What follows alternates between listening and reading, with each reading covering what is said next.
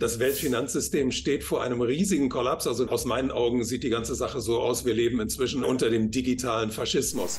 Also alles deutet darauf hin, dass die, die Weltwirtschaft weiter schrumpfen wird. Wir gehen auf einem Weg in eine Richtung, dass nur noch ganz, ganz wenige Unternehmen auf der Welt äh, die gesamte Welt dann beherrschen werden. Gold ist Geld, alles andere ist Kredit. Und das gilt heute eben genauso wie früher. Und Bitcoin ist ein Teil des Spiels. Und dann werden äh, Gold und, und Silber zu dem auferstehen, was sie immer gewesen sind, nämlich das ein, die einzig zuverlässige und tatsächliche Währung, die es wirklich gibt. Gold steht vor irgendwann einem ganz großen Ausbruch und dieser Ausbruch, der wird dann auch nicht mehr aufzuhalten sein. Also wir sehen, dass in Deutschland die Linksparteien, die Grünen und so weiter auf dem absteigenden Ast sitzen und in Gesamteuropa eigentlich eher eine Rechtsruck, rechtspopulistische Parteien entstehen. Das lässt sich sowohl in Deutschland als auch in vielen ja, weiteren Ländern wie in der Schweiz, in Österreich, in Spanien beobachten. Glaubst du persönlich, dass sich ähm, hier etwas ändert und dass hier gerade eine neue Richtung entsteht? Oder ist das genau wie dieser Strom, der erzeugt wird und auch schon 2015 erzeugt wurde und eigentlich immer bei jeder Krise, die derzeit auf der Welt entsteht, von langer Hand geplant? Wie siehst du das? Ja, ich denke, das ist einfach so, eine riesige, so ein riesiges Ablenkungsmanöver. Also man muss sagen, also dass die Parlamente ja heute eigentlich gar nichts mehr zu sagen haben. Also es wird uns immer noch äh, suggeriert, wir würden in der parlamentarischen Demokratie leben. Aber diese parlamentarische Demokratie ist ja seit 2019, seit 2020 mehr oder weniger abgeschafft. Also in mein, äh, aus meinen Augen sieht die ganze Sache so aus, wir leben inzwischen in, äh, unter dem digitalen Faschismus. Also äh, der Faschismus ist ja von äh, äh Benito Mussolini äh, äh, definiert worden als das Zusammengehen des Staates mit den großen Konzernen. Und genau das sehen wir in unserer Zeit, wobei die Staaten heute viel weniger zu sagen haben als zu Mussolinis Zeiten. Heute ist die gesamte Welt im, befindet sich im Würgegriff des digital-finanziellen Komplexes und der tut und macht, was er will. Und er lässt auch nur noch solche Politiker zu, die ihn nicht direkt kritisieren oder die ihm willfährig äh, seine Agenda durchführen. Und deswegen ist es eigentlich relativ egal, ob da Linkspopulisten oder Rechtspopulisten an der Macht sind, weil die Parlamente eben absolut so gut wie, also so gut wie nichts mehr zu sagen haben. Das ist das auch deiner Meinung nach der Grund, dass wir immer mehr planwirtschaftliche Entwicklungen sehen? Ich muss vielleicht auch zu dem Wort Planwirtschaft nochmal bemerken, dass mir erst vor wenigen Tagen bewusst wurde, wie wenige Menschen überhaupt den Begriff Planwirtschaft wirklich interpretieren können und verstehen, was dahinter steckt. Weil wenn man das Wort und die Bedeutung aus dem ökonomischen Sinn nicht kennt, dann klingt es ja erstmal sehr positiv, dass die Wirtschaft planmäßig verläuft, aber dass viele Menschen überhaupt nicht wissen, dass sich dahinter wieder mal ähm, ja, das Gesicht des Kommunismus versteckt, ähm, äh, ist, glaube ich, das, was viele Menschen erst spüren werden, wenn es zu spät ist. Ursula von der Leyen hat es tatsächlich auch als Präsidentin der EU-Kommission fertiggebracht zu sagen, wir werden zum Wohlstand aller die Wirtschaft der Zukunft definieren. Ja? Mit so einer Aussage als Präsidentin einer EU-Kommission zeigt das Ganze meiner Meinung nach schon, wie weit diese planwirtschaftlichen kommunistischen Gedanken vorangestritten sind. Ist das auch Folge dessen, was wir gerade erleben? Ja, es ist eine andere Planwirtschaft. Also die, die, die, die kommunistische Planwirtschaft, die hat den Leuten ja vorgegaukelt, dass das Ganze in ihrem Interesse passiert. Und dieses äh, vorgegaukelte Interesse ist inzwischen fallen gelassen worden. Wir haben die höchste äh, Konzentration von Macht und äh, von Geld in den wenigsten Händen, die es jemals auf der Welt gegeben hat. Und diese wenigen Ultrareichen, äh, die steuern die Welt im Moment in ihrem Interesse. Und der, da wird immer mehr, mehr Planwirtschaft durchgesetzt. Da hat der, der Wettbewerb eigentlich ganz wenig nur noch zu suchen. Also wir haben ja jetzt in der letzten Woche auch in Amerika eine ganz interessante Entwicklung gehabt. Äh, da hat Chevron ähm, ein, das, das Unternehmen Hess unternommen. Das, dann hat ExxonMobil hat ein anderes großes Energieunternehmen äh, übernommen. Also da findet ein Konzentrationsprozess statt, der alles, was bisher da gewesen ist, in den Schatten stellt. Also wir, wir erleben, dass immer weniger Akteure das Geschehen in der Welt bestimmen und dass der Wettbewerb dabei so gut wie gar keine Rolle mehr äh, äh, spielt. Und wenn der Wettbewerb keine Rolle mehr spielt, dann haben wir es mit einer Planwirtschaft zu tun. Allerdings nicht mit einer Planwirtschaft bei den Leuten, äh, den Leuten wie im Kommunismus oder damals zum Beispiel in Russland suggeriert wird, das ist in eurem Interesse, sondern bei dem ganz gnadenlos gesagt wird, das ist in unserem Interesse und, und, und ihr seid uns eigentlich äh, relativ egal. Und deswegen führt man ja auch das neue Geld ein. Das, das neue Geld, das digitale Zentralbankgeld, wird auch äh, eine Art äh, finanzielle Planwirtschaft mit sich bringen, wo ganz wenige Leute über ganz viele Leute herrschen und ganz wenige Leute ganz vielen Leuten tatsächlich äh, äh ganz viele Leute von allen Finanzflüssen abschneiden können oder denen Bedingungen auferlegen können, zu denen sie einfach nicht mehr leben können. Danke dir, Ernst. Vielleicht noch mal kurz die Erwähnung. Ähm, wir werden uns ja am 15.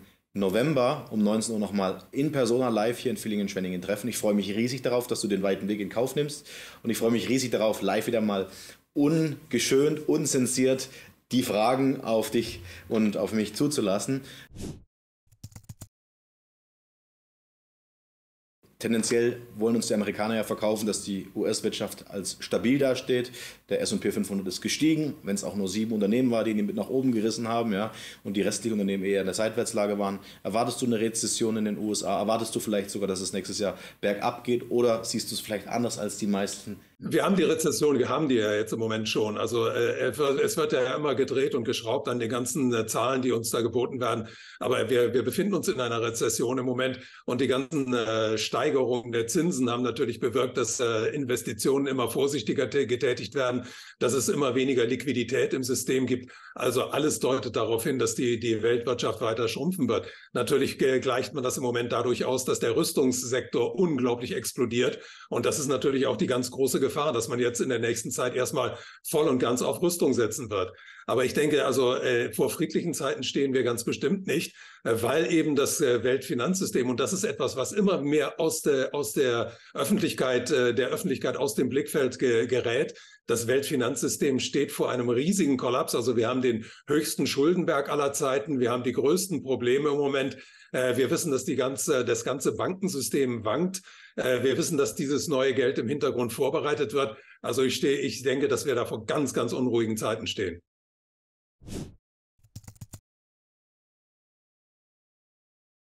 Würdest du also sagen, dass es jetzt soweit ist, dass die Zombies fallen? Das, was die Medien mittlerweile als lächerlich empfunden haben. Ich sage mal, wir sehen ja zahlreiche Unternehmen, die pleite gehen. Die deutschen Wirtschaftsnachrichten, habe ich gestern gelesen, haben geschrieben, die deutschen Unternehmen stecken in einer Kreditklemme. Das heißt, letzten Endes äh, werden wir jetzt das sehen, dass diese Unternehmen, die eigentlich schon längst fällig waren, umkippen. Das weiß man ja, dass diese äh, Zinserhöhungen in der Vergangenheit in den letzten Monaten schon bewirkt haben, dass die ihre, ihre äh, Schulden immer noch weniger bedienen können. Und das wird jetzt weiter vorangetrieben. Also diese kleine, viele von diesen kleinen Unternehmen hoffen im Moment noch darauf, dass in den nächsten Monaten die Zinsen wieder sinken werden. Aber das wird wahrscheinlich, also meiner Meinung nach zu 100 Prozent nicht passieren, sondern ich glaube an genau das Gegenteil. Ich glaube, dass man diese Zinsen weiter erhöhen wird. Das wird dazu führen, dass ganz viele mittelständische Betriebe aufgeben werden. Profiteur wird wieder die Plattformindustrie sein. Das wird der digital-finanzielle Komplex sein, der dies, die, diese Unternehmen alle einverleibt. Und das wird natürlich wieder ein weiterer Schritt in Richtung Planwirtschaft sein, weil wir stehen auf, äh, wir, wir gehen auf einem Weg äh, in eine Richtung, dass nur noch ganz, ganz wenige Unternehmen auf der Welt äh, die gesamte Welt dann beherrschen werden. Und das Interessante ist daran, dass gerade diese Unternehmen äh, auch keine Steuern zahlen. Also ich meine, im Moment ist das so, dass der Mittelstand in Deutschland noch äh, das große, äh, das Gros der Steuerabgaben aufbringt, dass große Konzerne wie Amazon keinen Cent an Steuern zahlen, aber im Moment von dieser Krise äh, weiter profitieren. Also die große Umverteilung von unten nach oben, die läuft auf Hochtouren.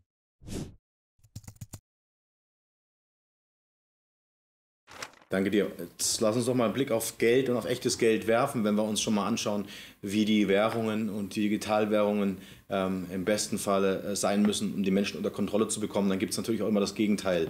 Viele schwärmen ja davon, dass Bitcoin diese Lösung ist. Äh, BlackRock selbst macht ja mit seinem ETF gerade Schlagzeilen und bringt den Kryptomarkt ins Schwanken. Ähm, wo müssen die Menschen hinschauen, wenn wir auf echtes Geld schauen. Ja? Also siehst du zum Beispiel auch hier in den Kryptos, wir haben ja schon oft über das Thema gesprochen, aber es ist ja ein fortlaufendes, sich stets veränderndes Thema. Siehst du hier drin mittlerweile etwas anderes oder bist du immer noch skeptisch? Nein, nein, da, da muss man einfach an den, an den Satz von dem, dem wichtigsten Banker des letzten Jahrhunderts äh, erinnern, an John Pierpoint am Morgen, der mal gesagt hat, Gold ist Geld, alles andere ist Kredit. Und das gilt heute eben genauso wie früher. Und das gilt auch für Bitcoin. Bitcoin ist ein Datensatz, der einen intrinsischen Wert von Null hat. Und Bitcoin ist inzwischen ein Teil des gesamten Getriebes, äh, das vom digital-finanziellen Komplex beherrscht wird. Und wenn jetzt BlackRock auch noch ein ETF auflegt und damit dafür sorgt, dass der Bitcoin-Kurs plötzlich mal kurzfristig in die Höhe getrieben wird, dann wissen wir, Bitcoin ist ein Teil des Spiels. Also ich muss sagen, ich bin da immer mehr der Meinung, die, die Dirk Müller schon vor einiger Zeit vertreten hat, äh, dass Bitcoin nichts anderes als ein trojanisches Pferd gewesen ist um am Ende die digitalen Zentralbankwährungen einzuführen. Also Bitcoin hat ja auch, wenn man historisch gesehen äh, die Einführung von Bitcoin betrachtet, äh, äh, merkwürdigerweise im Jahre 2009, gerade da, als man anfing, das Bargeld zu bekämpfen, mit dafür gesorgt, dass ganz viele Leute vom Bargeld abgekommen sind. Mhm. Vor allem ganz viele junge Leute. Äh, und äh, Bitcoin ist inzwischen, wird an den Börsen gehandelt. Bitcoin ist, ist ein, ein, ein Teil des, des gesamten Finanzsystems geworden. Und wenn man sich gesehen hat, äh, gesehen hat in den letzten Jahren, wie Bitcoin äh, reagiert hat auf bestimmte Dinge, Bitcoin ist immer mit den Märkten mitgegangen und Bitcoin wird das in Zukunft auch tun. Natürlich kann man jetzt Bitcoin nochmal antreiben und das ist für mich auch kein Wunder, dass im Moment Bitcoin in die Höhe getrieben wird, weil dadurch äh, diskreditiert man de, äh, das Gold und das Silber natürlich, weil also in dem Moment, wo die Leute wieder alle auf Bitcoin Bitcoin abfahren, äh, werden sie sagen, also Gold und Silber ist, das ist Geld, Geld von gestern. Aber ich sage den Leuten eins voraus, wenn die Krise richtig zuschlägt, dann wird Bitcoin auch sein Waterloo erleben und dann werden äh, Gold und, und Silber zu dem auferstehen, was sie immer gewesen sind, nämlich das ein, die einzig zuverlässige und tatsächliche Währung, die es wirklich gibt. Wenn wir uns jetzt mal die aktuelle Preisentwicklung anschauen, Ernst, dann sollten wir uns mal den Zinsmarkt, den Realzins anschauen und uns anschauen, was beispielsweise Gold macht. Ähm, denn normalerweise hat die Regel gegolten, wenn der Realzins im positiven Bereich liegt und steigt, dann fällt Gold. Und wenn er im negativen Bereich liegt und fällt, dann steigt Gold. Aber jetzt erleben wir eigentlich, dass der Realzins steigt und sich gegen Null bewegt, zumindest wenn man sich die offiziellen Inflationszahlen anschaut, bei denen wir alle wissen, dass sie geschönt sind. Ähm, und Gold steigt trotzdem und steht kurz vor einem neuen All-Time-High. Ja? Was sagt uns das? Verliert man die Macht und den Einfluss über die Manipulation solcher Märkte? Also wird Gold wieder sprechen und zu sprechen beginnen? Ja, ich denke ja. Ich denke, dass wir da, da also ganz kurz vor, vor dieser Situation stehen, wo, wo diese ganze Manipulation einfach nicht mehr funktionieren wird, weil zu viele Leute, die auch äh, äh, relativ gut im, im System verankert sind, sehen, dass dieses System riesige Probleme hat. Und wir sehen einfach durch diese ganzen äh, Geldausgaben, also man muss sich nur vorstellen, also ich habe es ja schon erwähnt, die USA haben sich allein in den letzten vier Wochen um eine halbe Billion weiter verschuldet. Da wird der Wert, der Wert des Geldes immer weiter nach unten gehen. Und in solchen Krisensituationen suchen die Leute natürlich Sicherheit. Und Sicherheit bieten im Moment auch nicht mehr die Staatsanleihen, weil da glaubt auch im Moment keiner mehr dran, weil äh, da gibt es ja diese neue Regelung, dass diese Staatsanleihen wieder zurückgekauft werden können. Also da wird immer noch weiter manipuliert. Also da setzt sich so ganz langsam bei gerade den Leuten, die auch relativ viel Geld besitzen, äh, die Erkenntnis durch, dass tatsächlich Gold wirklich der einzige sichere Hafen ist. Gold äh, steht vor irgendwann einem ganz großen Ausbruch und dieser Ausbruch, der wird dann auch nicht mehr aufzuhalten sein. Danke, lieber Ernst. Dazu nochmal der Aufruf und darum wird es auch in unserem nächsten Webinar gehen am 15.11. Wir werden uns mal genauer anschauen, was hinter diesen Kriegen steckt. Wir werden dort ohne Blatt vor den Mund sprechen. Ich werde dort viele Fragen von euch einfließen lassen. Deswegen freue ich mich, wenn ihr euch jetzt dazu anmeldet, am 15.11. um 19 Uhr. Ernst, schön, dass du dir heute die Zeit genommen hast. Ich danke ganz herzlich. Ich möchte den Zuschauern auch nochmal den Rat geben. Den Link zu Ernsts Vorträgen findet ihr hier unten. Ja, sichert euch einen der letzten Plätze. Die letzten Vorträge waren alle restlos ausverkauft und ja, stark nachgefragt. Deswegen, ähm, ihr supportet Ernst direkt damit, ja, nicht über irgendwelche Umwege.